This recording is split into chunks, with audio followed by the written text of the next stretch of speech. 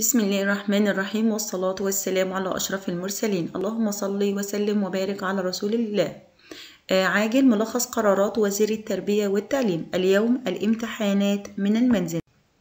ينظم الآن الدكتور طارق شوقي وزير التربية والتعليم والتعليم الفني مؤتمرا صحفيا لإعلان القرارات النهائية المتعلقة بتفاصيل وآلية إجراء امتحانات الفصل الدراسي الأول. وكذلك آلية استئناف الدراسة بالفصل الدراسي الثاني من العام الدراسي 2020-2021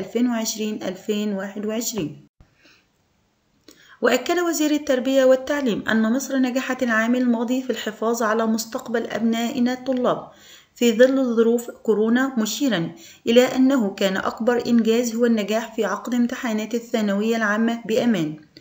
وقال إن وزارة التربية والتعليم حضرت منصات أو حضرت منصات وقنوات تعليمية لإتاحة التعلم عن بعد وقت الحاجة إلى ذلك. وأضاف وزير التربية والتعليم لا يمكن أن يتم التنازل عن تقييم عادل لنقل الطلاب من صف إلى آخر. وأعلن وزير التربية والتعليم القرارات التالية بخصوص امتحانات الترم الأول. بالنسبة لامتحانات المواد غير المضافة إلى المجموع ومواد الهوية للمدارس الدولية تؤجل لآخر العام. بالنسبة لامتحانات تلاميذ من أولى ابتدائي حتى التلاميذ للصف الثالث الابتدائي هناك 8 ملايين طالب في الصفوف من الأول حتى الثالث الابتدائي. لن يتم عقد امتحانات لهم التزاما بنظام التعليم الجديد. أما بالنسبة لامتحانات الإعدادية تقرر تأديتها في امتحان واحد آخر العام الشهادة الإعدادية أو الصف الثالث الإعدادي. بالنسبة لامتحانات الصف الثالث الإعدادي سيتم تأديتها في امتحان واحد يعني هيجمع الترم الأول مع الترم الثاني آخر العام. يبقى امتحان الشهادة الإعدادية الصف الثالث الإعدادي امتحان أو ورقة أو هيكون امتحان واحد بيجمع الترم الأول مع الترم الثاني آخر العام. أما بالنسبة لسنوات النقل من الصف الرابع الابتدائي حتى الثاني الإعدادي برضه هيكون في امتحان واحد مجمع في جميع المواد في يوم واحد فقط. يعني العربي الإنجليزي العلوم الدراسات كل المواد دي كلها هتكون في يوم واحد فقط وهيكون امتحان موحد. وسيكون كل يوم الامتحان صف واحد فقط. يعني النهارده وهن إن شاء الله هننزل حاليا جدول الصفوف للامتحانات. يبقى بالنسبة من الصف الرابع حتى الثاني الإعدادي امتحان واحد مجمع في جميع المواد في يوم واحد فقط. وسيكون كل يوم لامتحان صف واحد فقط. يعني النهاردة أولى إعدادي بكرة تانية إعدادي. النهاردة رابعة ابتدائي بكرة خمسة ابتدائي بعده ستة. يعني يوم لكل فصل دراسي. وسيكون كل يوم الامتحان صف واحد فقط إعمالا للتباعد وسيكون الامتحان في منهج الترم الأول وسنكرر ذلك في آخر شهور مارس وأبريل ومايو ليتم إلغاء امتحان الترم الثاني لهؤلاء الطلاب بحيث يتم امتحان الطلاب آخر كل شهر عن منهج هذا الشهر. يبقى حتى الترم الثاني هيكون الامتحان ورقة واحدة فقط بتجمع جميع المواد وهيكون امتحان يوم واحد فقط لكل صف دراسي وهيكون الامتحان ده في نهاية شهر مارس أو أبريل أو مايو ليتم إلغاء امتحان الترم الثاني. وستكون مواعيد الامتحان المجمع لكل المواد في المواد الأساسية لطلاب صفوف النقل. كالتالي يوم الأحد 28 فبراير سيمتحن تلاميذ الصف الرابع الابتدائي. يوم الاثنين واحد مارس سيمتحن تلاميذ الصف الخامس الابتدائي. يوم الثلاثاء 2 مارس سيمتحن تلاميذ الصف السادس الابتدائي.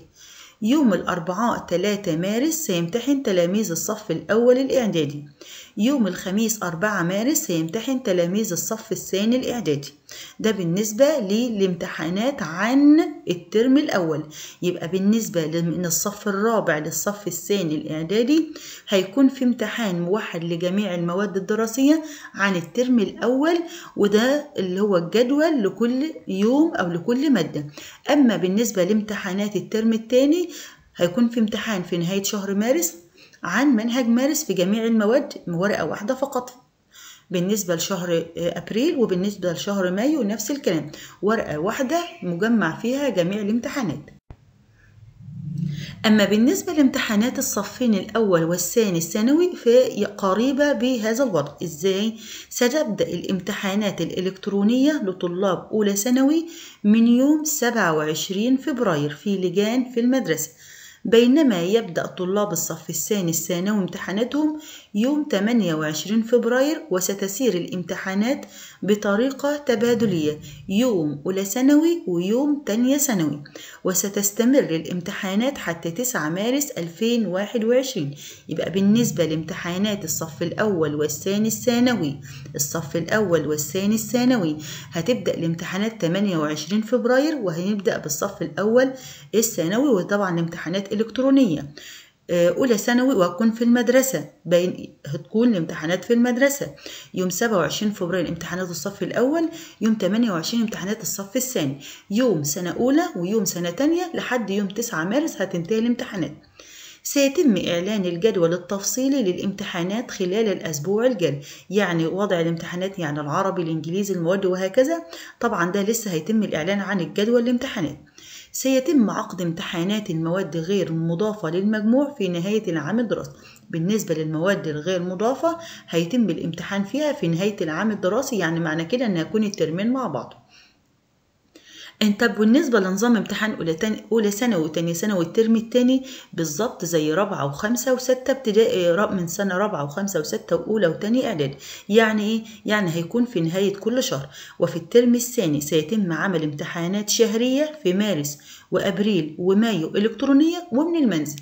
يبقى إمتى امتحانات أولى وتانية ثانوي من المنزل؟ اللي هي بالنسبة لامتحانات الترم الثاني اللي هتعقد في نهاية كل شهر من آه على التابلت أو إلكترونية من المنزل. أما امتحانات الترم الأول هتكون في لجان داخل المدرسة. زي ما إحنا وضحنا طب بالنسبة لامتحانات الثانوية العامة 2021 أكد الدكتور طارق شوقي وزير التربية والتعليم أن الوزارة مصرة على عقد امتحانات الثانوية العامة. ستكون إلكترونية لجميع أنواع الطلاب في لجان إلكترونية مراقبة على التابلت يعني امتحانات الثانوية العامة هتكون على التابلت إلكترونية من المدارس من المدرسة هنكون يعني في لجنة وكنترول. وقال وزير التربية والتعليم أن امتحانات الثانوية العامة ستعقد بأكثر من فرصة ومحاولات مختلفة للطلاب مشيرا إلى أنه على الأرجح لن تعقد امتحانات الثانوية قبل شهر يوليو يعني الامتحانات مش هتكون قبل شهر سبعة. يعني من المؤكد أن امتحانات الثانوية العامة هذا العام هتكون في شهر سبعة. وأضاف وزير التربية والتعليم أنه سيتم عقد امتحان إلكتروني تجريبي لطلاب الثانوية العامة في شهر أبريل من المنزل للتدريب على شكل الامتحان النهائي. بالنسبة لموعد بدء الدراسة بالفصل الدراسي الثاني تقرر إعادة فتح أبواب المدارس أمام الطلاب لبدء الفصل الدراسي الثاني من يوم الأربعاء 10 مارس. يعني المدارس هتفتح أبوابها للترم الثاني من 10 مارس بنفس جداول الحضور التي تم تطبيقها في الفصل الدراسي الأول. لتكون عدد أيام الحضور أقل ويكون الاعتماد الأكبر على التعليم عن بعد. أما بالنسبة لعودة مجموعات التقوية في الم... بالنسبة لعودة مجموعات التقوية في المدارس. تقرر عودة مجموعات التقوية في المدارس من بعد 9 مارس 2021 ولخص الدكتور طارق شوقي وزير التربية والتعليم والتعليم الفني جميع القرارات فيما يلي يتم عقد امتحانات الترم الأول من 27 فبراير حتى 9 مارس 2021 تعقد امتحانات الشهادتين الإعدادية والثانوية في نهاية العام الجاري في لجان مراقبة ولا مجال لعقدها من المنزل أو استبدالها بأبحاث. بالنسبة لامتحانات المواد غير المضافة للمجموع وامتحانات مواد الهوية بالمدارس الدولية ستؤجل لنهاية العام الدراسي الحالي. بالنسبة للمدارس الدولية تستطيع إعادة حضور طلابها كل مدرسة حسب خطتها بدءا من 20 فبراير 2021 مع مراعاة الإجراءات الاحترازية. بدء الترم الثاني بعد 10 مارس في المدارس بدون تسجيل الغياب. يعني الطالب يحضر الترم الثاني ده عادي المدارس فاتحة أبوابها ولكن لن يكون هناك تسجيل للغياب. وإتاحة حق الاختيار بين حضور للمدرسة أو استكمال الدراسة عن بعد بعد كتابة إقرار من ولي الأمر. يعني عشان تقعد في المنزل الترم الثاني وما تحضرش المدرسة لابد أن ولي الأمر يعمل إقرار عن نفسه أن ابنه مش هيحضر المدرسة ولكنه هيتعلم تعليم إلكتروني أو استكمال الدراسة عن بعد وطبعا لابد من هذا الإقرار.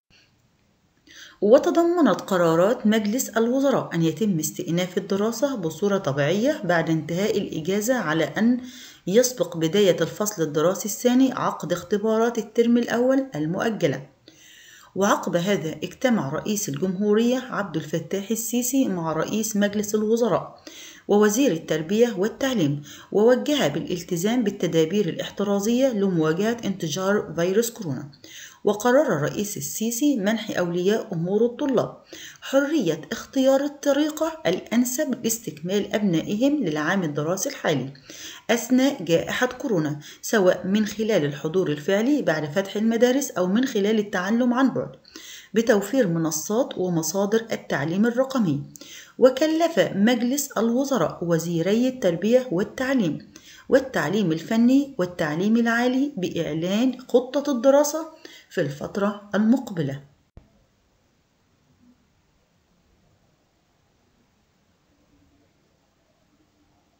الإسراع في خطوات التحديث الشامل لنظام التعليم مع التركيز على البنية التربوية تطوير نظام امتحانات أبنائنا في الخارج بما يحقق الكفاءة ويتسق مع الوسائل الحديثة. تطبيق الإجراءات الاحترازية عند استئناف الدراسة بالمدارس. استكمال جوانب الدراسة الخاصة بتطوير منظومة التغذية المدرسية على مستوى الجمهورية. توفير وجبة مدرسية متكاملة العناصر للنمو البدني والذهني للطلاب. إيلاء أهمية متزايدة بالتركيز على البعد التربوي والتأهيل البدني والصحي للطلاب فضلا عن تطوير منظومة المعلمين في مصر. آه والسلام عليكم ورحمة الله وبركاته. ما ننساش طبعا لو عجبنا الفيديو نعمل like و share عشان إن شاء الله يوصلنا آخر آه آه قرارات وزارة التربية والتعليم.